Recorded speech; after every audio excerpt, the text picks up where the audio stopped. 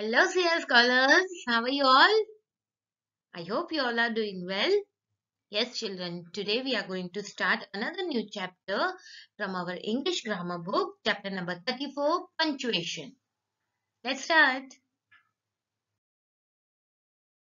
Children, first let's recall that in chapter number 3, kinds of sentences, we learned about three, four kinds of sentences assertive sentence, interrogative sentence, exclamatory sentence and imperative sentence. In, in that chapter, we use some marks or symbols at the end of those sentences. Now, that marks or symbols are known as punctuation. Let's learn this briefly. What are punctuations? Punctuation marks are symbols that are used in sentences to make the meaning clear.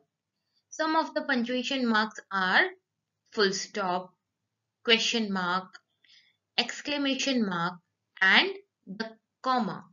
Now children, why do we use this punctuation marks or symbols at the end of the sentence or in the middle of the sentence? Yes, to make the meaning clear of that sentence.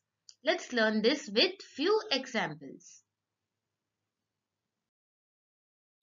Okay children, let's talk about this punctuation mark, full stop. The full stop is used at the end of an assertive sentence or an imperative sentence. It is used when you want to say something. Let's see the example. This mango is sweet. Yes, children, this is an assertive sentence. What do you mean by an assertive sentence? Yes, when you want to say something, when you want to state something, that sentence is known as an assertive sentence. Here, you are just saying something. This mango is sweet. So, this is an assertive sentence. So, at the end of this sentence, we will put a full stop. Next example. Please cut this mango for me. Children, this is an imperative sentence. Now, what do you mean by an imperative sentence? A sentence which gives an order or makes a request or a or gives a suggestion. That sentence is known as an imperative sentence.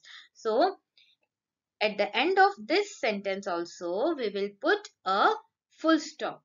So, with these two sentences, with an assertive sentence and and imperative sentence, we will use this punctuation mark, the full stop. Yes, children. Another punctuation mark is question mark. The question mark is used at the end of an interrogative sentence. Now, what do you mean by interrogative sentence, children? Yes, when you want to ask something. At that time, at the end of the sentence, we will use this question mark. For example, what is your name? It is an interrogative sentence. You are asking something to someone. So, at the end of this statement, we will use the question mark. Second example, which bus route will take me to the gateway of India? Yes, you are asking for the bus route. So, this is also an interrogative sentence. So, when you ask something, so with that sentence, we will use the question mark at the end of the sentence. Let's see another punctuation mark that is an exclamation mark. The exclamation mark is used at the end of an exclamatory sentence.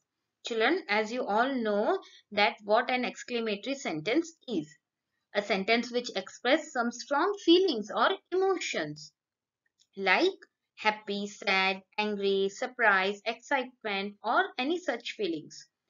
See the example. What a lovely painting. Yes children, this is an exclamatory sentence. I am showing my feeling about this painting. So, at the end of an exclamatory sentence, we will put an exclamation mark. Another example. How excited I am to play in the cricket team of the school. Now the boy is showing his feelings. He is excited that he would going he would play in the cricket team of the school so it is an exclamatory sentence so at the end of this sentence we will put an exclamation mark now let's talk about another punctuation mark that is comma the comma indicates the shortest pause what do you mean by shortest pause children yes when you want to stop for a while for a second at that time we will put a comma. Children, there are a number of uses for the comma. Let us learn about few of them. Yes, a comma is used to separate someone's name or address from the rest of the sentence. For example, children, Mohit, did you complete your homework?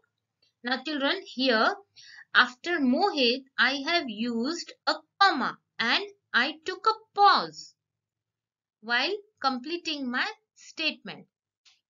Mohit, did you complete your homework? So after someone's name, we will use a comma and we will complete our statement. Understood? Yes, children.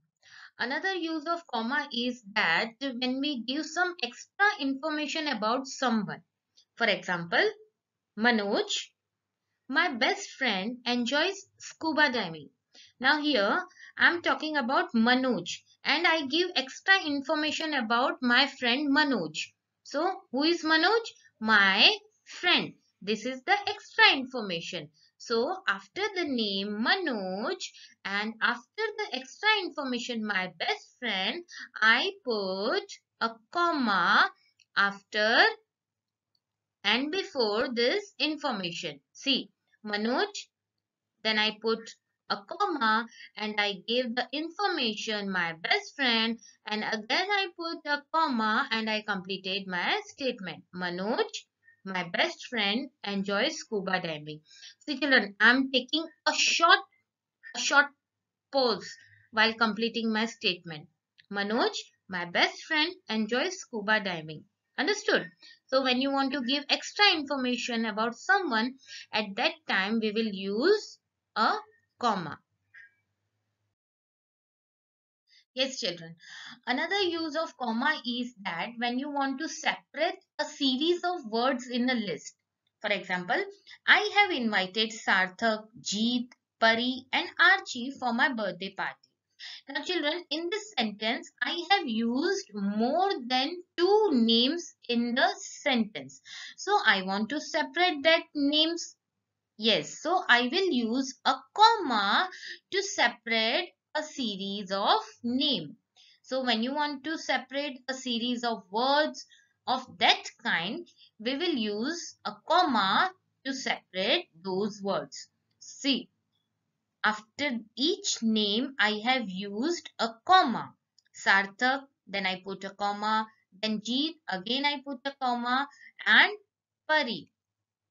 So, like this, you will use a comma when you want to separate a series of words of that kind. Now, children, there are other uses for the comma, but that we will learn in our further grade. So now let's move towards our exercise. Okay children, see page number 125, exercise A. Read each sentence, circle the answer that shows the correct ending punctuation mark. Now children, you have to put the correct punctuation mark. You have to circle the correct punctuation mark after each and every sentence. See the first one. What time is it? Now, first identify what kind of a sentence is it? Is it an exclamatory sentence or is it an interrogative sentence or an assertive sentence? Yes, it is an interrogative sentence. We are asking something. So, the correct answer is A.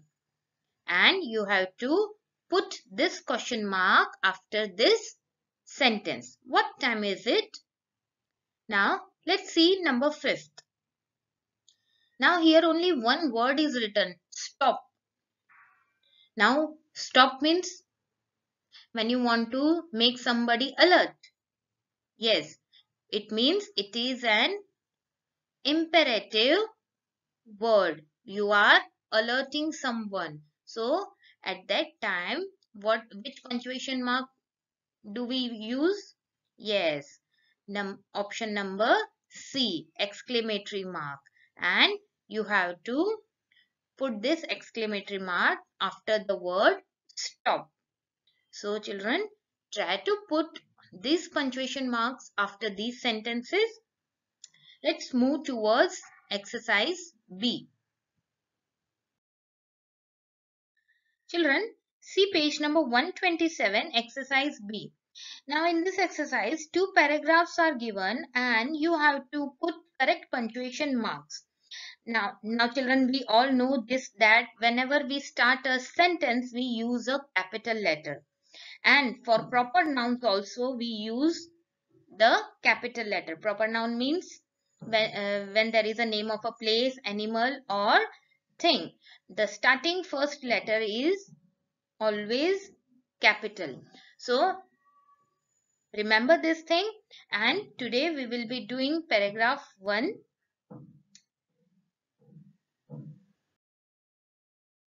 Okay children, see paragraph number 1.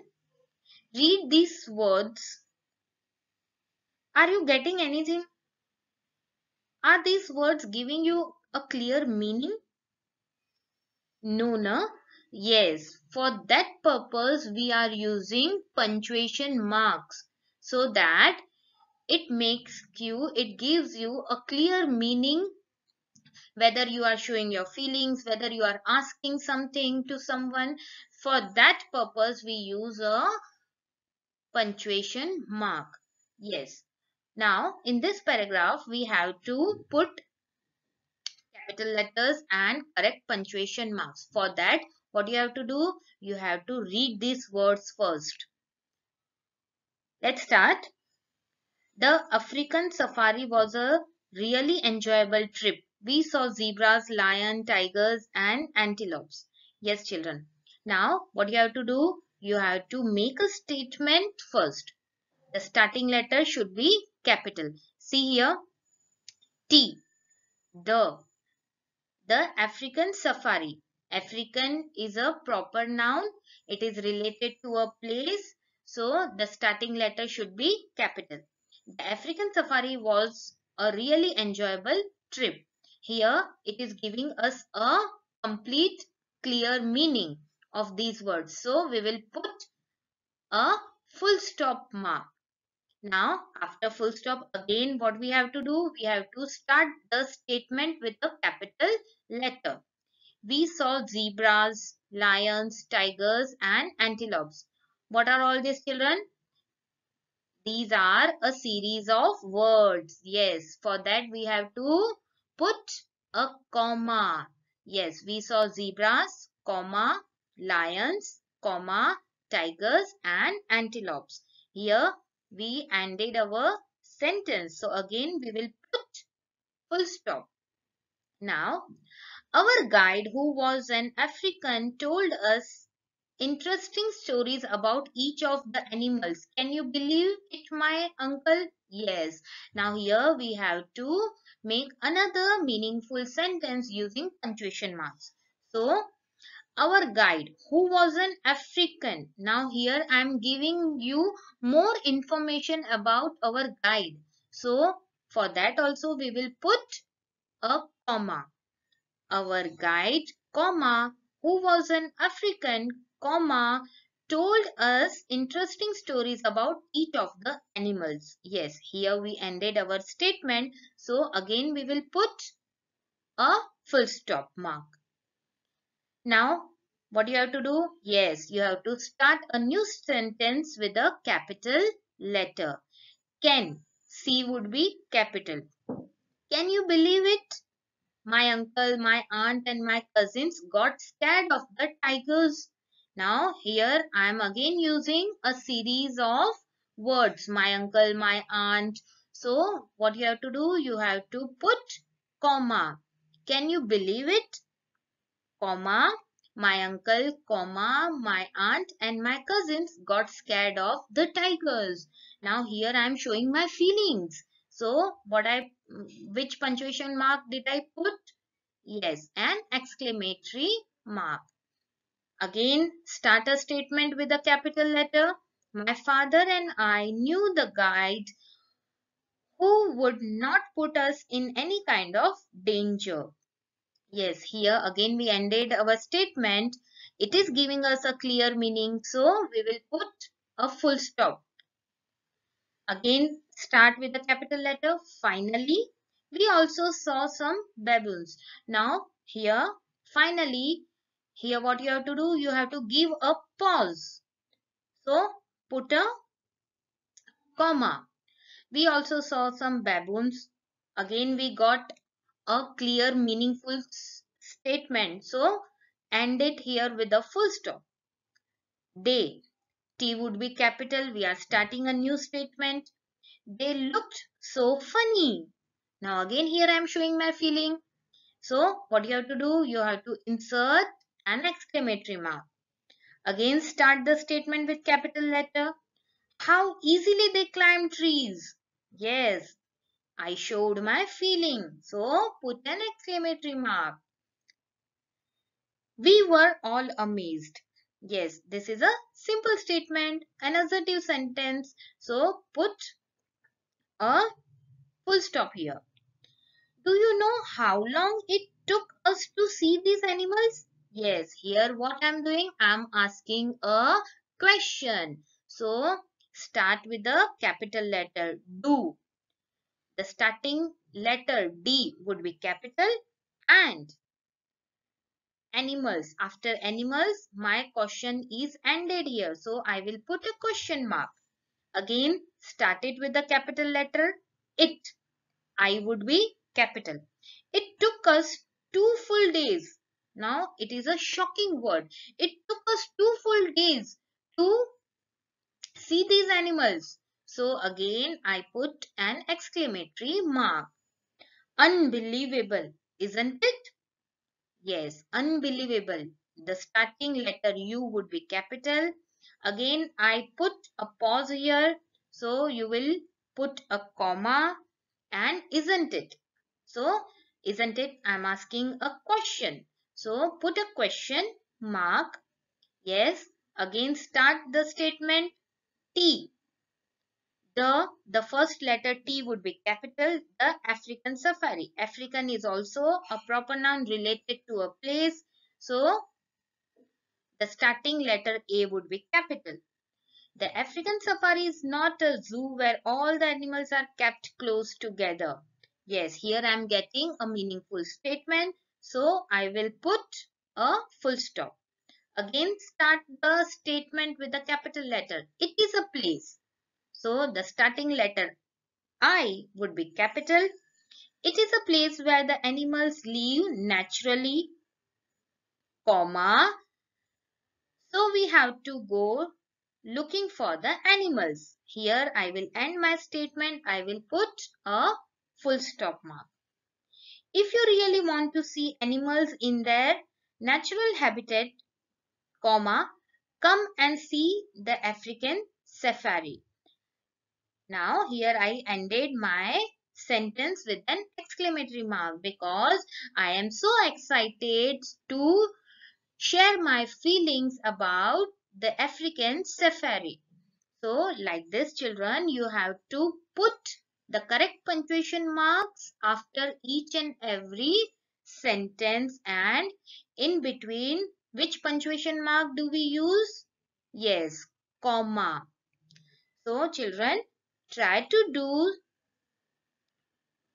paragraph number 2. I will be sending you the notes. Bye bye. Good day.